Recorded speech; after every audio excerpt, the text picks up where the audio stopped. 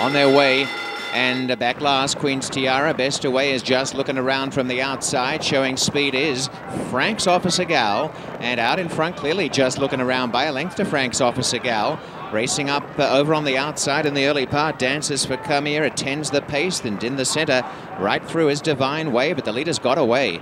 A length away came Queen's Tiara, Ice and Sweet, and last Enviromaniac just looking around. It's up against the rail now by a length and a half. Dances for Camille on the outside, shading Divine Way.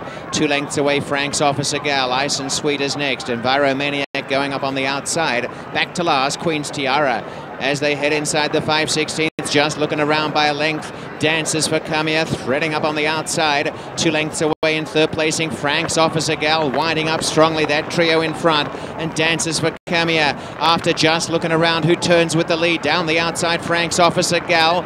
And then Divine Way. The leader is Camilla in the centre around and Frank's officer Gal trying to run them down.